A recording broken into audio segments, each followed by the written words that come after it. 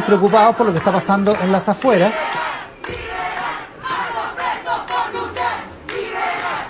Y algunos de ellos parlamentan con Carmen Gloria Valladares, aparentemente pidiéndole que no empiece la eh, ceremonia sin que esté perfectamente claro qué es lo que pasa afuera, en, en los alrededores del Congreso Nacional. Está sonando el himno nacional ya. Escuchamos. Amen.